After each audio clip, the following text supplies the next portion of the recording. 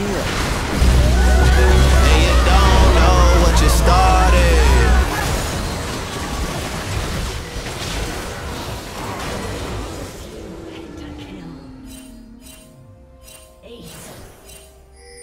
Live and die by the blade.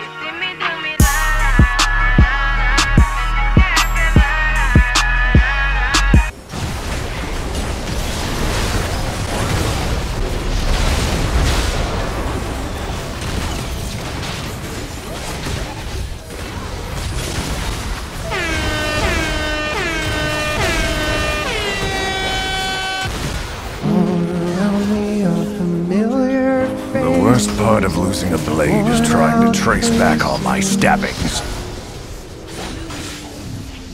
Ah, I lost another blade.